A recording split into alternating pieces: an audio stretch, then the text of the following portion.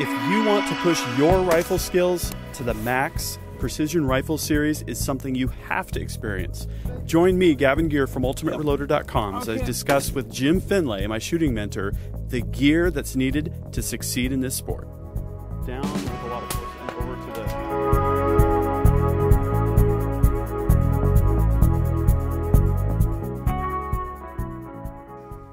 So I'm here again with my shooting partner and friend Jim Findlay. We're talking about my first PRS match. In the last video, we talked about the experience, getting ready, preparing, practicing, the whole end-to-end experience. And this time we're going to talk about the gear. And there's a lot of places that you can go online to talk about gear and to read up on it, learn about it. Uh, a couple sources I would recommend would be Cal Zant has a blog called the Precision Rifle Blog. A lot of great info there, including what the pros use. He has a lot of different compilations of stuff there. Uh, Ed Mobley and Steve Lawrence have the 6.5 guys, which is a little bit more video based, and they have a blog as well. Tons and tons and tons of information. But what I thought we could do is just kind of walk through the basics of each of the components in your gear collection for a PRS match and talk a little bit about what we used, a little bit about how we selected the gear, the pros and cons, maybe a little bit about what we'd like to use next. So thank you, Jim, for Sure. joining me. Absolutely. Uh, why don't we start with rifles? How do you think about which rifle to put together, the different options that you have, that kind of thing? sure. Well, there, as you see here, there's two rifle platforms. One is a bolt action, the other is semi-automatic. They both have their pros and cons. Um, you'll tend to see more of the uh, bolt action rifles than you will the semi-autos in uh, most of these competitions. And once again, there's pros and cons to both of those. Uh, in my experience, the bolt gun's a little bit easier to run over the semi-automatic. Not that you can't get the semi-auto to stay with a bolt gun, but you definitely need, in my opinion, quite a bit more time behind the trigger. So, I I Um, would say that I would I would have found the same thing, uh, just in even practicing. You know, keeping like an AR-15, for example, on target. We've talked about the dynamics of the first shot and the last shot, and Mm-hmm. how that affects the rifle's follow through, and you can see that on the groups and and all that. Um, it was a little bit easier for me to hold my position with a, a semi-auto. Um, I shot this AR-15, which is chambered in 22 Nosler, and overall it did it did really well. But when I go back to a bolt gun, it, it just feels like everything's a bit more clamped down and a bit more steady. You you have a pretty high end setup going on here, and it's got a heavier stock. It's got just total stability and a really really light, really glassy smooth trigger as well. yes, that's correct. I think trigger's running about eight ounces. It's a jewel. so this rifle platform here, bolt action, it's an R-Bros Rogue Action that R-Bros put together for me um, with a 22 inch Broughton eight twist barrel, and then I have the uh, the suppressor on there, and, which um, I prefer to shoot suppressed over the break rifles, just because of uh, less fatigue on the on the shooter, uh, less less noise. The recoil is about the same, maybe a little more with the with the suppressor than with the brake. But uh, I'll trade that off with uh, with the the fatigue that you get running Yeah. a brake over a period of a day, especially if you've got a covered uh, shooting area Yeah. that you're shooting. So And you're chambered in 6.5 by 47 Lapua, which is yes, that's correct. similar similar to 6.5 Creedmoor, but Yes, slightly absolutely. more, more optimized. Yeah, there's a just a couple things that, that makes me stay with a 6.5 by 47, and that is barrel life. You get a little more barrel life with a 6.5 by 47 over the Creedmoor, and uh, and you get the accuracy is a little bit easier to get a hold of right out the gate than the than the Creedmoor. Um, the Creedmoor is no slouch by any stretch, and that, that is there's a lot of people shooting those, especially with Yeah. uh, with quite a few off the shelf rifles available. Yep. The 6.5 by 47 is a reloaders only. There's not any factory ammunition that will uh, that will keep you in the competition. Yeah. And like you've mentioned several times, things like the wind, the stopwatch, uh, you know, keeping just keeping the sto- scope steady, shooting off of some of the barricades, and this this kind of stuff would be have a lot more Safe. impact on your score than 6.5 by 47 Lapua versus 6.5 Creedmoor, Abs- right? absolutely, yes, uh, yes, absolutely. Yeah. you you can if you're shooting a half minute gun or better, Mm-hmm. um, then it's not going to be the gun. Yeah. It's And you, be the shooter. you could shoot something like 243 Winchester and have a super flat trajectory and then just be prepared to have your rifle rebarreled more frequently, right? Yes, that's correct. Absolutely. and there's quite a few of the guys running six millimeter, Mm-hmm. and they all have pros and cons. So the six fives have a little bit heavier bullet, which on paper don't necessarily show they have more uh, energy downrange um, and more more dust signature, but you definitely have with the heavier bullets, the 130s, the 140s, 147s, Mm-hmm. 143s out of the 6.5, just have a better signature on target than the 6 millimeter. And so, uh, pros and cons there. Some, mm, well, not all the matches, but most of the matches that shoot long will have some kind of a, a light system or some kind of a reactive system on the targets at range, so that makes it easier for the RO to score hits and misses. So your rifle is a completely different profile than an AR-15. One thing that I found was, you know, when you have a Picatinny rail all over the place and that kind of thing, there's there's more of a likelihood for things to get caught on the rifle, and it's not as smooth to handle, maybe even off the barricade. Um, your stock is pretty much smooth in its in its profile, and you have a swivel stud mount for for your bipod. Is that right? That's correct. Yes. Um, and and then once again, you know, there's a lot of guys running chassis on these bolt guns and whatnot. Um. Like I- a Ruger Precision rifle? or- Absolutely, yeah. right, right. Or the Savage, or the uh, I think there's about three of them out there Mm-hmm. now that, that come right from the factory uh, that you can buy off the shelf that have the chassis systems Yep. to them. I've never, I've never really uh, liked the chassis systems. It's just all in what you like and what you can make work for you. This this rifle, I wanted it to be relatively light because I Mm-hmm. use it for hunting as well, and uh, so this is what I ended up with. Yep. And as we discussed in the last video, w- when you do so much trigger time getting ready for a match and competing in a match, and then you take the same rifle and you take it out in the field and go hunting, it's it's just great practice, good muscle memory. Absolutely, yes, yes. Especially if you're running a fairly light trigger like we are in this one here, the Jewell trigger set at eight ounces, which is extremely light compared to what most people like to use. But uh, I know I've shot. I think I have over twenty thousand pulls on that trigger, Yep. so kind of have an idea when it's going to let go. So to, to, to recap on the rifle, pick a chambering, pick an action in terms of a bolt action versus semi-automatic. Pick a, a, a profile and and then you know think about what optic you want to run. Of course, that's going to be one of the key things in a PRS match is, is what scope you're going to use. And Absolutely. tell me about your thought process on that. So I think after doing this for a number of years, uh, a first focal plane is a must. As I sit here looking at my second focal plane, Nightforce. a first focal plane is a must without a doubt. Um, most, not all, but most uh, PRS shooters will run mils instead of minutes, um, which which I believe is the right way to go as well. Uh, Let's talk about first focal plane versus second focal plane. For those of you that haven't shot both, uh, a first focal plane uh, will scope will maintain the scale of the reticle in terms of your holdover throughout the range of magnification, whereas a second focal plane scope, the tick marks on on the reticle won't will only apply to that max magnification. yes, that's correct. Yeah. And so you get to do a little math. Yeah, if you can't quite pick it up at 22 power on the top magnification here, then you drop down to 11 and cut everything in half. Um, so there you go. Uh, that's why the, the first focal plane is for sure the way to go. The less that you have to think about and calculate in your head while you're under the gun, the better, right? Absolutely, yes, yep. Yep. And there are some some scopes that have the Horus reticle and so forth where you don't have to dial at all once you learn how to use them. Excuse me, because your, your your holdovers and your wind are all built into it, and once you learn that, you can go pretty fast. I, I it's too busy for me, so I prefer just a standard Yep. uh, uh, MLR reticle in this one. And you mentioned mils versus MOA, and, and we've discussed this m- numerous times. The key thing is that whoever you're shooting with, if, if you can align on MOA versus mils, that's a good thing because then you're in the same conversational language.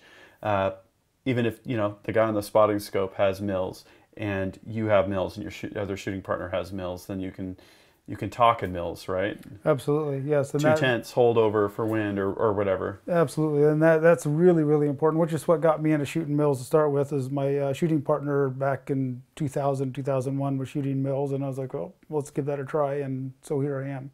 And then like the spotting scope behind Gavin here is is first focal plane mills as well. Yep. So it makes it very very easy to uh, call out corrections and so forth. Yep. Yeah, that uh, that was a little bit of an issue uh, with my scope. This is the same Vortex Viper HST 6 to 24 by 50 that I was shooting on the Ruger Precision Rifle, and overall it worked great. But I didn't have the zero stop like you'd have on on a Razor HD, that kind of thing. And uh, I didn't realize how important that would be until you start dialing out your dope multiple times and you're going out. We were shooting at between 100 yards and 700 yards, and uh, you never know when you might accidentally roll roll your turret and then wonder, you know, if you're if you're really back on zero or not. So. Yes, that's correct. And, in a, in a match setting, especially, then uh, things get kind of moving pretty fast, and mm-hmm. it's very nice to have the zero stop for sure. You're also running uh, sunshade. Yes, um, and and I, I, wouldn't go any larger than that for mm-hmm. a sunshade, just because just how I am. But but they are nice to have, especially you know you're shooting early in the morning, the sun's down low, coming up on you, and you're shooting into the sun. It's it's mm-hmm. very nice to have. So let's talk magnification range. For obviously that's going to depend on what your PRS match consists of, but our match, like I said, consisted of 100 yards at, at, the near edge and about 700 yards at the far edge. And you've got a 22 power scope, and I've got a 24 power scope. Um, is that a sufficient range? I believe so. This is a five and a half by 22, mm-hmm. uh, and it's an old scope. I mean, it's it's several years old and definitely time for an upgrade. But um, the magnification range for me and for my eyes is really good. Hmm. Uh, some of the newer scopes are running up 35 power on the top end. My eyes can't pick that up, so um, they get too much mirage and, and uh, distortion and that sort of thing. Uh, especially running a can, uh, you'll definitely get a lot more mirage off of the, the mm-hmm. can. So so there's some there's some once again goes that goes to personal preference in my opinion. Uh, you do want something that that's got a decent range of mag- magnification, and the five and a half is is uh, more than adequate on the low mm-hmm. end. 22 on a rare occasion I wish I had a little bit more, but I'm definitely happy mm-hmm. with the 22. So we've got magnification range. You've got uh, the mils versus MOA, uh, zero stop, turret style. Some people have locking turrets. We were both shooting non-locking turrets. Do you have a preference on that? Zero stop. Absolutely need zero. Yep. This this one's got the zero stop on it. Yep. Um, and this is the, what they call their high-speed turret. So mm-hmm. you've got uh, you got 10, 10 minutes per. Uh, I'm hmm. sorry, ten mils per rev mm-hmm. eh, on the minutes. so um, so high-speed turrets and uh, and zero stops are a must. Um, high quality scopes I, th- I think you could, if you don't have the budget to do a high-end scope, high-end rifle, I would go with a high-end scope over the high-end rifle. Mm-hmm. Um, if you if you got a rifle off the shelf that's running like a 6.5 Creedmoor and a Ruger Precision rifle that's staying hovering about a half MOA with factory rifle ammunition off the mm-hmm. shelf, mm-hmm. then you're doing really really good. Then spend the money on optics. Yeah, and also have really really good rings or a really good mount because I don't know for me if I'm having trouble with groups seems like at least six times out of ten it's a loose ring or loose mount something's not holding yes and you can't afford to have that happen in in a match environment yes and which kind of slight sidebar is uh, make sure you bring in your kit mm-hmm. a small a small tool bag that would uh, take care of being able to, to retorque the uh, mounts and mm-hmm. or the uh, the rings and so forth. Not yeah. a bad idea. I like to have a fat wrench on hand because it gives you the inch pound readings and then it Absolutely. clicks and then and then you know exactly you know where you're at and not having to guess it. You're going to be tight enough, but you're not going to damage you know your your tube or anything like that. Correct. So that's always good. Okay, so we talked about the rifle and we talked about the optic. Those are obviously very important things. Let's talk about support. Bags, slings, bipods, getting the rifle steady. Sure. So um, there are several bags available out there. Uh, personally, I tend to run just a small rear bag, as mm-hmm. you can see underneath the, the buttstock of the rifle there. Yep. This um, is the Red Tack gear mm-hmm. yep. out of Spokane, out of Spokane Washington. Correct. Is that right? Yep. And then uh, I have a tab sling and then a Harris bipod, and there's a uh, slew of different options you have available mm-hmm. on that. Once again, use what's comfortable for you and actually works for you and then again fits in your budget. There's uh, some bags out there, just the bags alone, that are two, three hundred dollars. So yeah, if you choose to spend the money on the bags, mm-hmm. It's there to be spent mm-hmm. for sure. Um, I, I can kind of see the benefit of having two sizes of bags because during during the the course of this event. I shot with, with my bag, which is kind of medium size compared to yours, and it's good for all arounder. But I tried the Game Changer bag, which several of the guys were really big on, which had kind of a shelf on it. It was really dense and heavy, which was nice, a stable platform. And then the KYL Gear bag, which was larger, really lightweight. But when I shot off of, I think it was the tank trap, it, it really worked very effectively to help me lock down. And I thought, hey, that'd even be good for hunting when you need to, you know, pack it through the woods. You know, going back to using the same gear in a match environment that you're going to use out in the field Absolutely. some stuff that you can depend on. So um, you could definitely, I think, get away with one bag and then just find the right size that's the right compromise between big for those awkward Yeah, situations when you need to take up a lot of space and Yes. it's small enough to haul around. Absolutely. Yeah. And in terms of bipods, a lot of guys are using the the Harris like we are. These are SBRMs six to nines with the tension lock add-ons. Uh, other guys are using Atlas, and there's there's there's other offerings as well. And uh, I, I've heard kind of one of the trade-offs is speed versus flexibility because these bipods, the Harris, you know, fold up and fold down instantly, whereas the Atlas you're going to be working uh, depressor button and got different Right. notches and things like that. And then, but that again, go, that goes to what you're familiar with, and if you use it a Mm-hmm. lot, you get familiar with it. You're fast with it. You know how it's going to work, and so forth. Mhm. Um, and then once again, that how much money do you want to spend on a bipod? These Harris bipods with the with the uh, lock on the back typically run around eighty to hundred dollars Mhm. somewhere in there. Some bipods can run you right on up three four hundred dollars. So, Yep.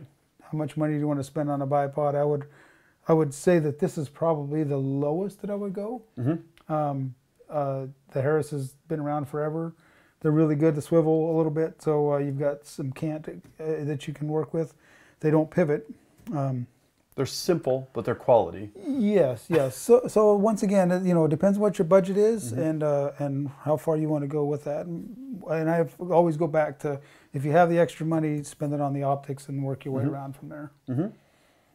So let's talk about ammunition and magazines. So I brought, I think we had 80 some odd rounds that we needed for, for this match, I and I brought so. I, I brought a box of 122 Nosler that I had loaded, you know, and actually I had another box in the truck, you know, just Right, just in case. you never know. Uh, but uh, yeah, I was using a, a Condor single rifle bag, and everything pretty much that I used for the day fit in that, and then I could kind of transfer that to a backpack. That's one thing that I would definitely bring next time would be just using a backpack and keeping all of uh, all of the essentials kind of in that. But Yes. back to the back to the ammunition. So, how many magazines do you typically need? Well, you, you want a minimum of two, and Mm-hmm. three is not a bad idea. If you have one go south on you, then you've got two because and typically in a match you're going to need two magazines.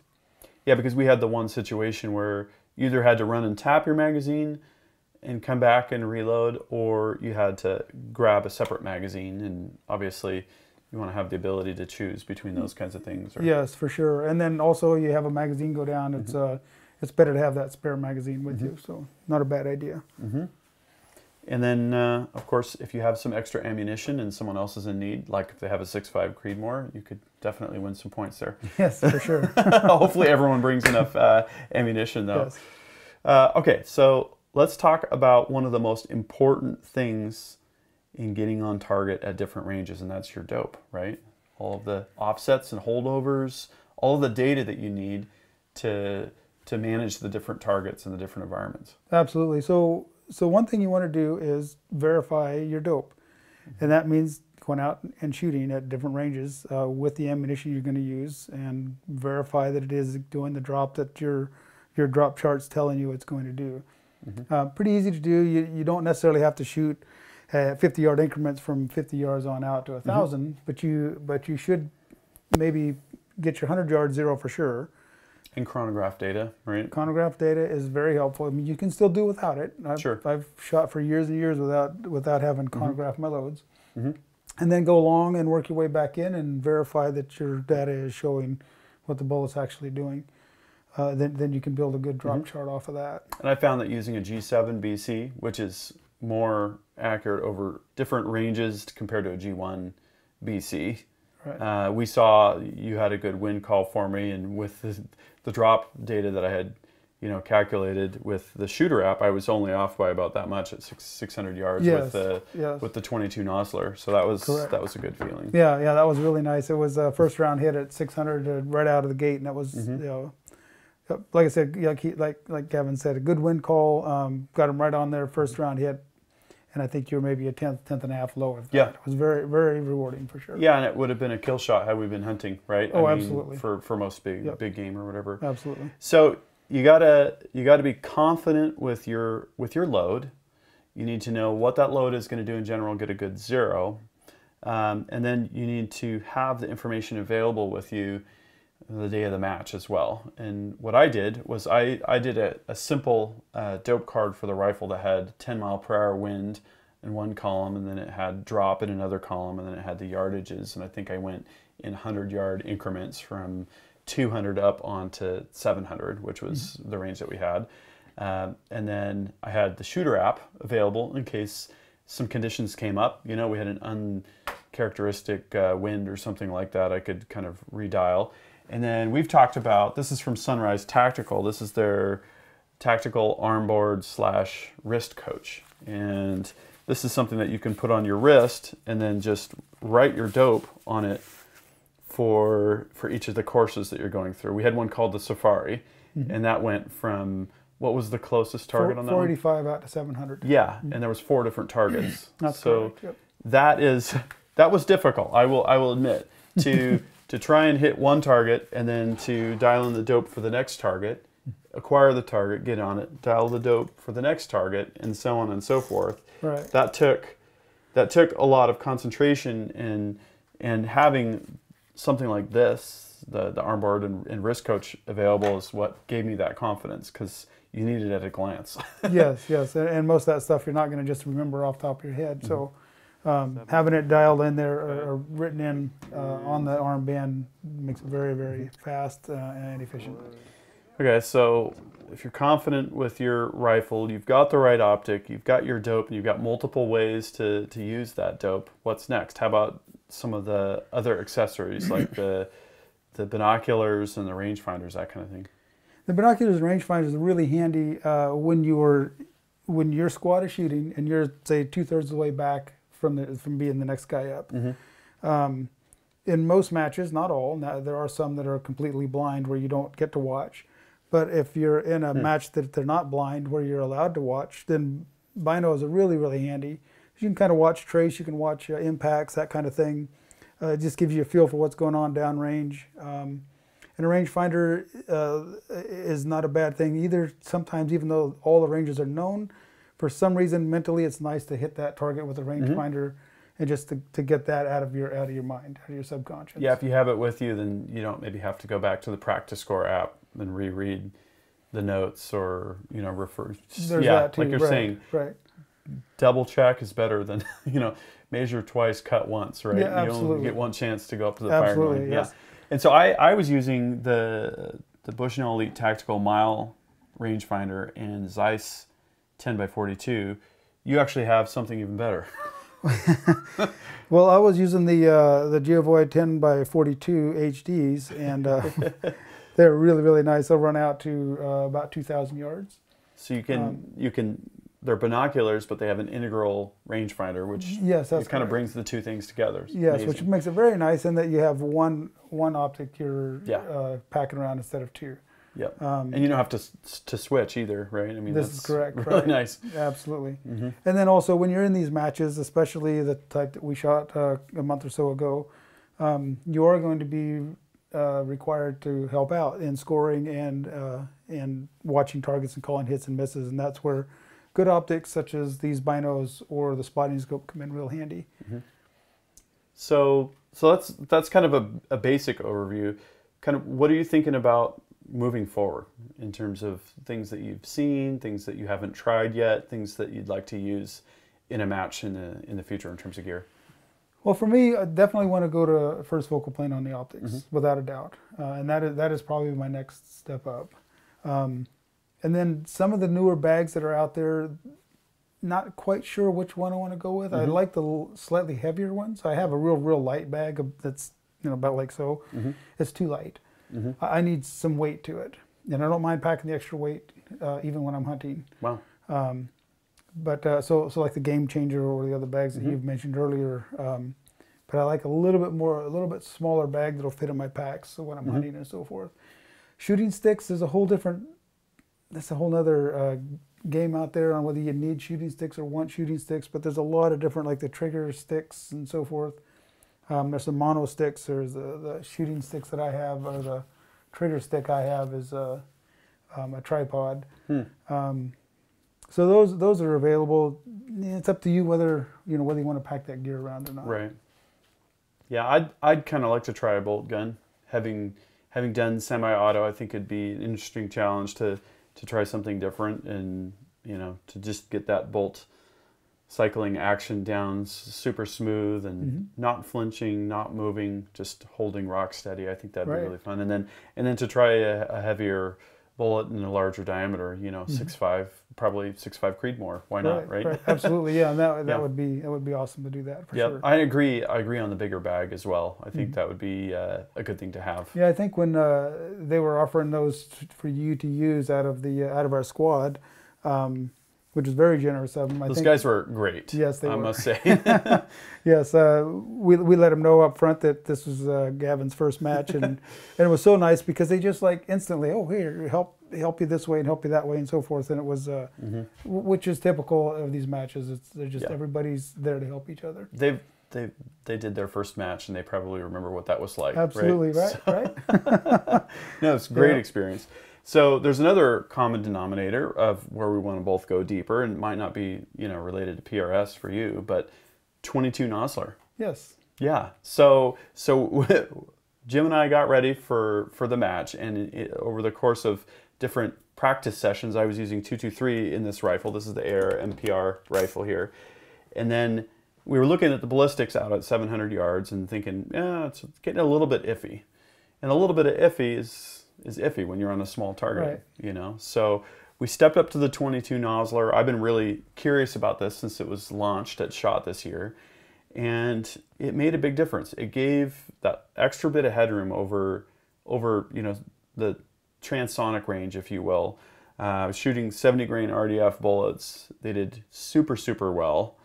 Um, I think that was kind of one of the highlights once I got my load data using the right powder and, and figured all that out. Unfortunately, I had a couple issues during the match, but have a really good H380 load that, that's that's shooting now. Uh, I guess you felt the need to go and get your own, huh? Actually, I did. Yes, I uh, I purchased a new barrel and a couple, I think 500 pieces of brass because Yeah. I, I feel that uh, that we were shooting. I was shooting my 5.56 loads uh, at the same time. Gavin was shooting his 22 Nosler, and the the 22 Nosler was definitely better uh, better on the drift and drop than the 5.56 loads. Which the 5.56 load is even uh, faster than and higher performance than the 223 load. Mm-hmm. Um, and so the about I think the 556 load may be halfway between the two, just from what we were seeing uh, when we we're up when we we're practicing before I Yeah. threw you under the bus and went to the bolt gun. right. Yeah. Uh, yeah. However, so yes, yeah, so I'm looking forward to, to putting that rifle together, Yeah. and uh, I think it's going to be awesome for uh, for coyotes and uh, Yep. maybe kook like the one I saw Saturday. I know. I can think of a lot of things that I that I want to use 22 Nosler for, and this is a good segue. Stay tuned because I'm going to be going in depth on 22 Nosler, talking about the cartridge itself, talking about this sort of special cases. It's it's a hot rodded cartridge. It's got a rebated rim. It it really is pushing the limits of the AR-15, which is kind of why I'm interested in it. Uh, performs really, really well. We'll go into reloading. We'll talk about ballistics. We'll talk about component selection. So lots of good stuff to look forward to, and I'm looking forward to having fun with you, experimenting in in this new territory of, Absolutely. of 22 Nosler. So stay tuned, Jim. Thanks again for coming. Um, I'm hoping to do another PRS match, and uh, Absolutely. I learned a lot. I think the second time will go a lot better. It'll be a lot of fun for sure. Absolutely. so stick around if you want to check out the 22 Nosler action. Make sure you're subscribed to my channel. And if you liked this video, please give it a thumbs up. Until next time, happy shooting and happy reloading.